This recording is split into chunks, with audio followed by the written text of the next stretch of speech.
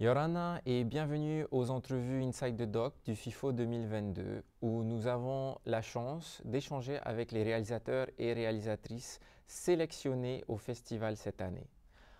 Aujourd'hui, nous recevons Larissa Berend, réalisatrice de Maralinga Jaruja, sélectionnée en compétition au FIFO 2022. Yorana Larissa and uh, welcome to this interview of uh, Inside the Doc.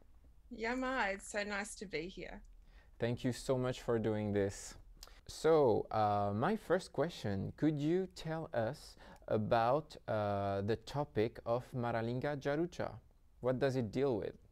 So, it really looks at the uh, British um, uh, bombing, using nuclear testing, bombing the traditional lands um, of the people who live at Maralinga Tjarutja um, and their perception of that. So there's been a lot of focus on the fact that those bombings took place. But this was really the first time that an uh, extensive documentary had been done that t- tells the story from the perspective of the Aboriginal people of that place. So, how did uh, the idea come to you to start this documentary? How, how did it all start? Well, that's a, such a great question because I think there's a real lesson in this for us as filmmakers. Um, I'd obviously known about this story my whole life because it was the most aggressive form of colonisation that took place in Australia. But uh, how I came to make the film was the community themselves decided they wanted the, the story to be told. Um, and partly because the our national broadcaster, the ABC, had commissioned a drama that kind of looked at the British Australian experience, but didn't include a First Nations perspective. And so, in negotiating with that um, about that that project, um, they decided that they would put forward the fact that they wanted a documentary made that told their story. So, this is a wonderful example of where the community has decided that it's time for them to tell their story. And I was just lucky enough through connections I had there to be asked to um, to direct it. But it was very much a community driven decision to tell this story now. How long did it take from start to finish?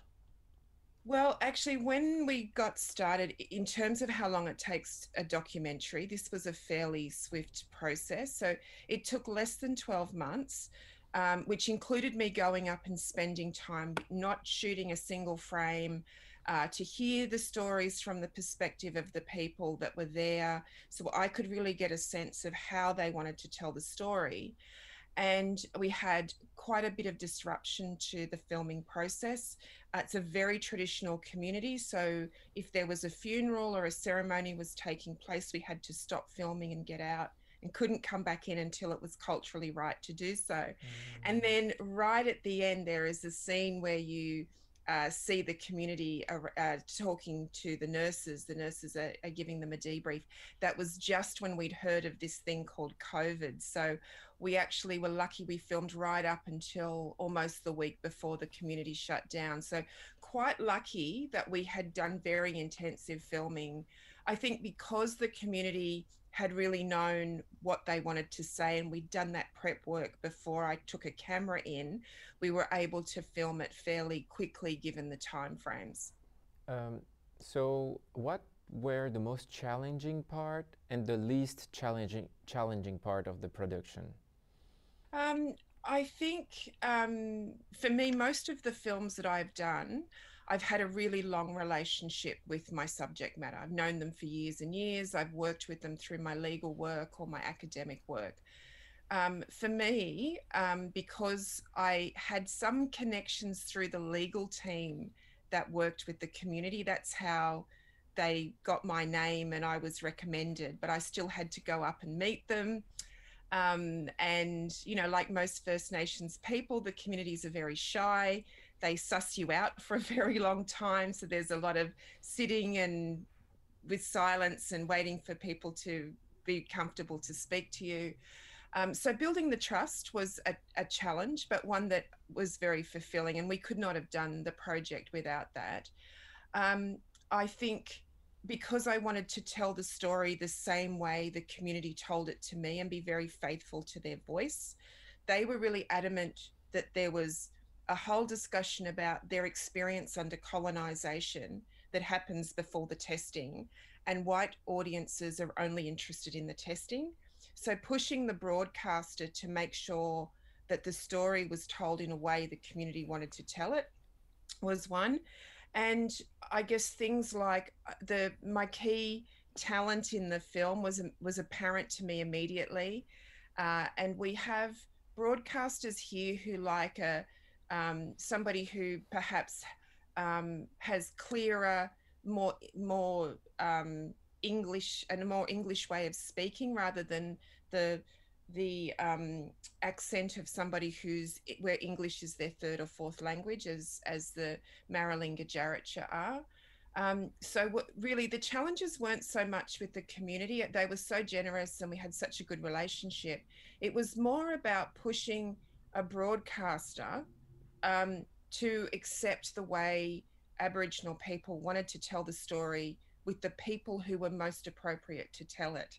Even mm-hmm. having the name Maralinga Tjarutja, there's a reluctance to have language names as titles on the broadcasters because Australians find them hard to pronounce when they should really be pushed to learn and be respectful. So I felt there were some really good wins around being able to strongly advocate for the mm. community. So um, the challenges were were really on that side, um, and I did learn a lot uh, just by listening. We have a mm. wonderful saying here that I think resonates with a lot of First Nations that wisdom comes from from listening, not speaking. And I think as filmmakers, that's really good advice.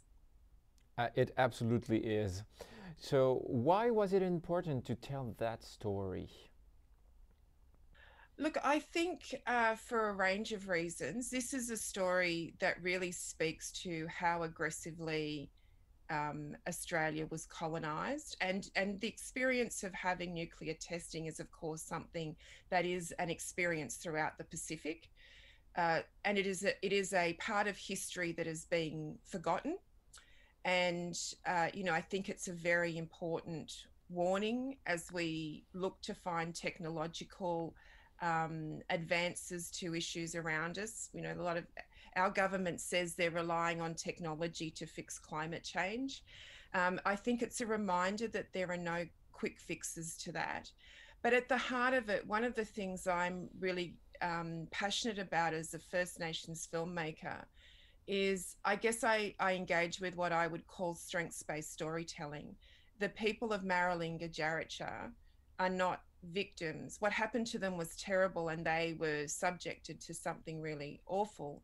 But I think one thing that comes through in the film for me is that these are the most resilient people on earth. And when they say, we've been here for over 65,000 years, what has happened to us in the last 200 is a blip because we will be here for the next 65,000 years, you know that's true. And I think for me, being able to celebrate the fact that the most um, devastating, literally devastating thing can happen to people and to their country, and they can build that back. You can see a strong society, a healthy community, people engaged very deeply in their traditional culture, very proud of that, back on country, healing that country.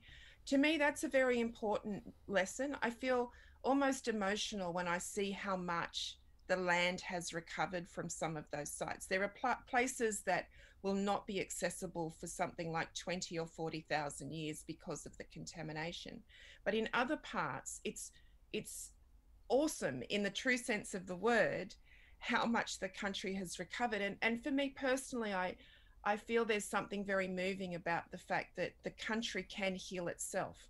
And once we remove ourselves from it, it is able to heal very quickly. And I think in these times, that's a very uplifting lesson. Oh, it, it sure is a, a great lesson, yeah. So, uh, of course, the topic of nuclear testing hits very close to home for us here in French Polynesia. Uh, my question is uh, how, how strong is the awareness of this nuclear testing in Australian society today? and education system? I think there's been a bit of a, a loss of the knowledge of that. Obviously, there was a really big anti nuclear movement here in Australia during the time of the Pacific testing. Um, and and interestingly, um, that movement was very closely linked to the Aboriginal rights movement. My parents were very politically active, and I grew up around Redfern in Sydney, which is a very politically active um, community. And if we weren't marching for land rights on a Saturday morning, we were marching against nuclear uh, testing or nuclear disarmament, so or for nuclear disarmament. So, so for us politically back at that time, those there was a, a greater awareness, and I think because I was so aware of it growing up, uh, it's shocking to me now that we are, um, as a broader society, losing that focus and that history is being forgotten. Very recent history too. Um, more recently, as you point out, in, in other parts of the Pacific, but even in Australia, this was the 1950s, so very much within living memory of people. Um, so I feel like one of the important things we do with um, these kind of films is is tell a story not only that hasn't been told before because people really didn't take the time to hear this perspective or tell it properly. Um, but because we're in danger of forgetting um, this period. And, you mm. know, it was a time when people used increasing tensions amongst world powers as an excuse for doing this kind of testing, uh, violating people's rights, violating their country, violating the landscape. And I guess one thing we would need to be wary of is as we see the world increasingly divisive, we get worried about how we are on the brink of a whole range of new um, tensions between countries, that this is a really salient reminder of what some of the cost of that can be. So I feel like it's always good to be remembering this history.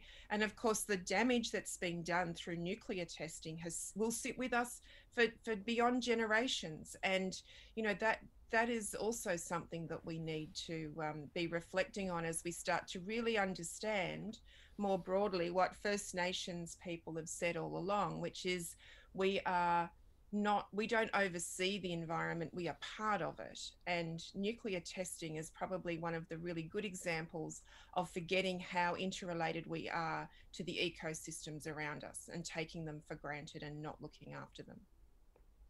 Oh, this is so fascinating and it sounds like us also a little bit So uh, my next question is, um, you know, um, watching the documentary, uh, it's it's being told very clearly that the um, nuclear testing didn't only bring ecological disaster; it was also a before that a human and a, a cultural uh, disaster. So it's a, a, a huge disaster on many levels, um, and you know, each year FIFO receives uh, and selects uh, films that deal with Aboriginal issues.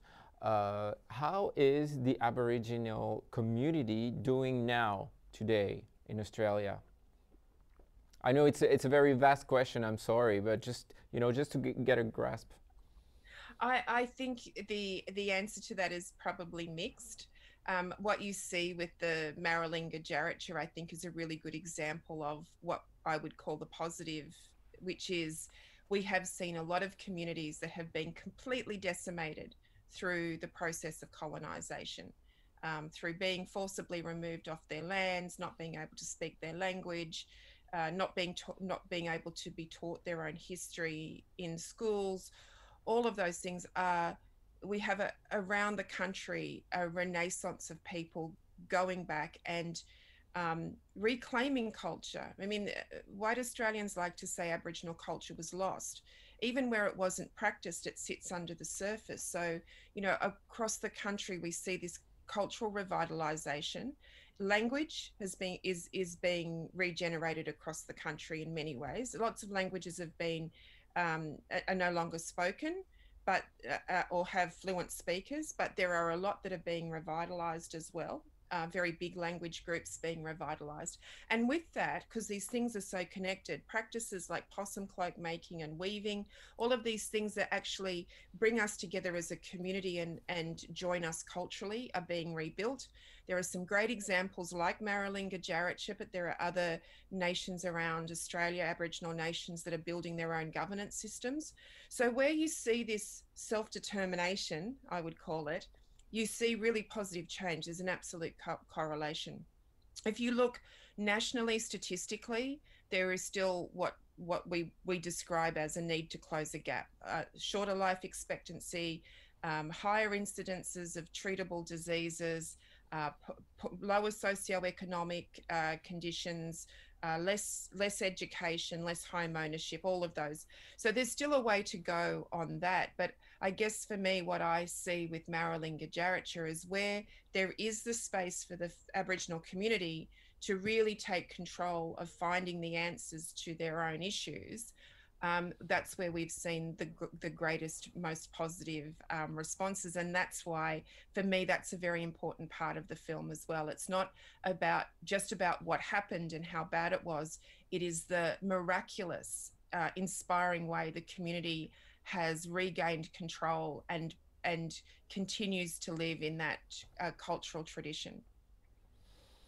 So when googling googling your name, uh, there's uh, an impressive body of, of, work that emerged, you know, in academia, in classes, in uh, publications, books, uh, and now uh, a documentary. I, I, mean, I guess it's probably not your first one, but my question is, uh, as a native Australian woman, director, how does it feel to carry the voices and the stories of your people in documentaries like Maralinga Tjarutja?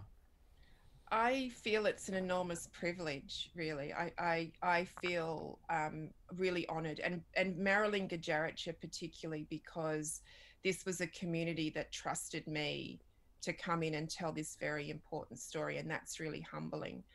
Um, and for me, you know, I started life as a lawyer because I wanted to change the world. You know, I as I said, I grew up in a really politically active family. It was all about land rights and you know my my father and grandmother were parts of the stolen generation so you know i was i was a bit of a social justice warrior even as a child and i wanted to be a lawyer and change the world and you know i guess one of the things that i've matured into is that you know as as lawyers you speak for somebody else when you advocate for them in court you, you're taking their story and you're presenting it in a way where you hope you'll be able to get a good outcome for them. And my evolution into filmmaking has felt like a very natural progression from, I guess, understanding the importance of, as an advocate, as I continue to be, actually stepping back and creating a space for someone else to tell their story and appreciating the power of that to create social change. Hearing the story from the Maralinga Tjarutja about what happened to them, of course,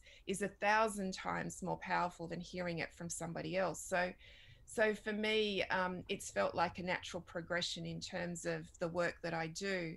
Uh, but but you always feel so humbled when someone opens up to you and tells you their story. And I think as First Nations people, where storytelling is such a critical part of our culture, you only get to hear cultural stories when you are ready to hear them, or you have um, you're being give, told them because you're taking on a responsibility. I think we have an additional understanding as First Nations filmmakers of the obligation that comes with the privilege of being able to tell somebody's story.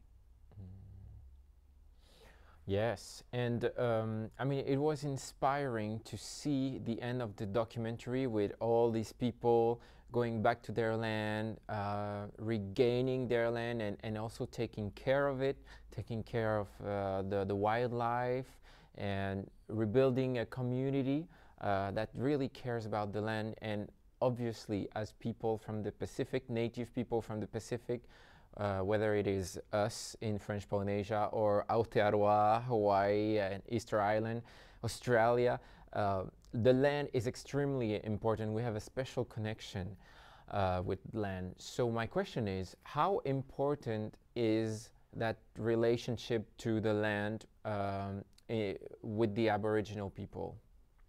I think one of the um, really profound parts of the story for Maralinga that really speaks as an answer to your question is that without country, it's not over dramatic to say that people die because in the story of the Maralinga Tjarutja, when they were first forced off their land because the the um, uh, mission at Ooldea, where the water supply had had been um, their main source of water, it had been their source of water since people lived there, began living there, and colonizers ruined that water source in decades. So you had that problem as well as the clearing off uh, of people for the testing to happen. And they were all moved down south. And the change in climate, the change in the soil, if you go up to Maralinga, the soil is really warm. When it's been a hot day, you can sleep on that ground and the ground's really warm. You go down south where people were moved to, and they, they say in the film it makes you old. I at first thought they said it was making you cold, but they say it makes you old because the grey um, earth is really cold. So people moved down there, and most of them died of pneumonia. So it is in their so so in in the oral histories of the area, there is a real link between being moving off country and uh, you know a, a, massive number of deaths as people came to climates where they were not used to, didn't know how to um, be resilient against. Um, and, you know, these consequences were fatal.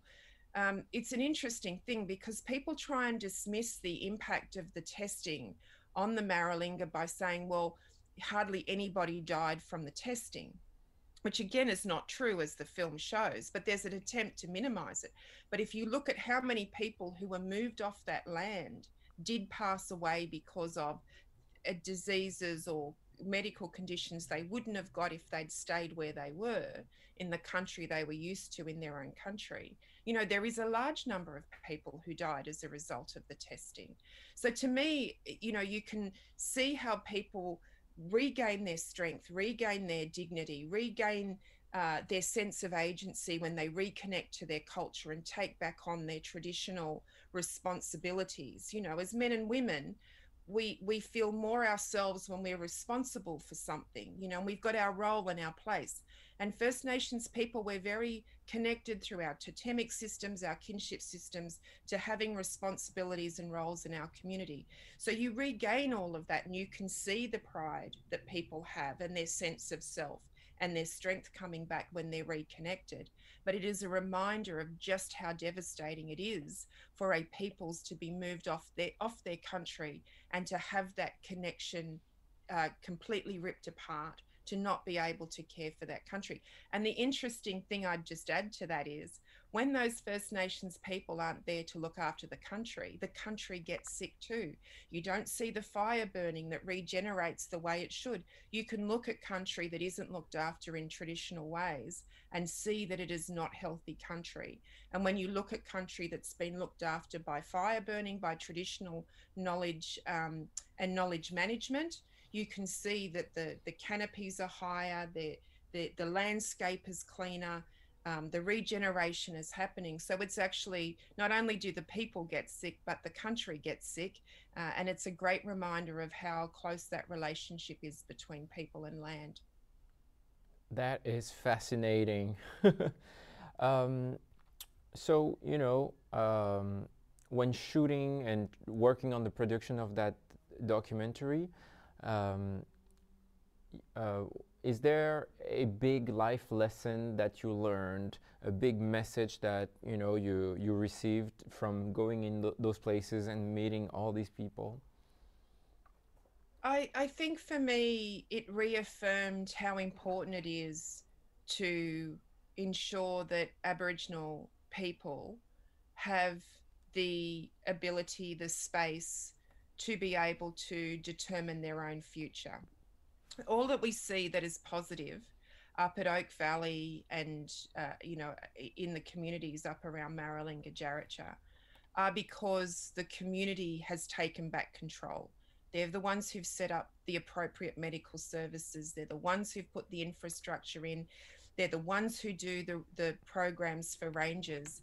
And, and, you know, when we say, you know, Australian governments say, oh, it's so hard to close the gap and it's hard to do things about Indigenous health and Indigenous education, and we try all these things and they don't work.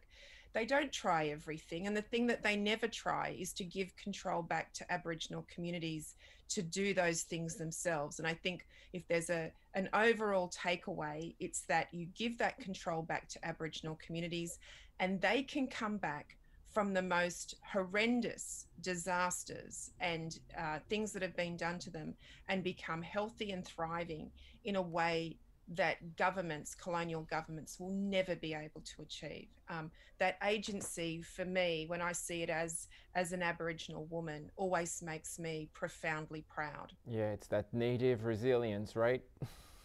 Which is great because the really big plant out there is the spinifex, and they call themselves spinifex people, and it's one of the most hardiest plants in the world. And to me, it's a wonderful symbol that that plant that's so emblematic of that country is also a real metaphor for the people as well.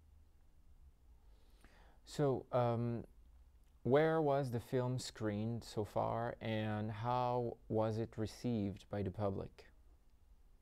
Did really well actually. There's always a bit of a um, a false narrative if you like that indigenous films don't land well with australian audiences.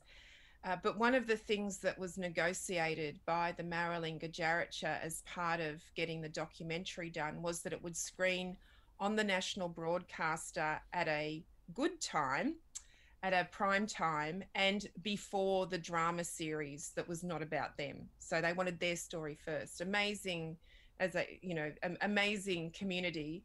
Um, so because it was put on at a good spot, it did really well in terms of how it rated. But I guess the most important screening was out at Oak Valley. The community gathered around for the screening, um, had popcorn, had it outside, and uh, you know they lo- they love the film and as a filmmaker you have lots of audiences that you want to appeal to uh, you want to change minds you know i feel this is something for a broader audience it's important for lawyers it's important for policymakers it's a conversation for first nations people around the world but the most important audience was um, the people at Oak Valley. So to get a tick from them was great, and they they really do love the film. So that's been a wonderful outcome. Well, congratulations for all of that. Um, I have just one last question. Do you have a favorite mo moment that you could share from from this experience? Um, I guess for me, uh, what was really wonderful, uh, and maybe it's a bit subtle in the film, when we took the photographs back to Oak Valley, first of all, although the community wanted the movie made, the docu, whenever we turned a camera on, they all disappeared. No one wanted to be on the camera. So it was always very hard to get them to come out. You'll see that we put on food and have community events to try and capture the sense of community when we we put the photos out at Oak Valley, so not with the ladies at Yalata, but Oak Valley, I was worried we'd get one or two people. And the number that turned up was lovely and surprising. But what was so special was that the two old men remembered the song from Ooldea, the old mission, and they sing that, and you see them teaching that song to the children. And that was the first time they had taught that song. And what you'd see from the end of the film is sadly one of those old men passed away since from between the filming and when the film came out. So for me, that was incredibly special that there was an, an, another bit of the culture that came back by seeing the photographs, remembering the song, teaching the song, and now the community know that song from Ooldea, that very important cultural song. So if I had to pick one moment in a film that I really love, it's probably that. Well, thank you so much for sharing, sharing that with us and congratulations again for being selected uh, at FIFO 2022. Thank you so much. Donc notre interview avec Larissa Berent, euh, réalisatrice de Maralinga Jaruja, touche à sa fin. Merci de l'avoir suivi. Vous pouvez retrouver ce film dans les salles du FIFO en présentiel pendant le festival ou sur la plateforme numérique euh, du FIFO 2022. Merci Maruru et euh, bon FIFO.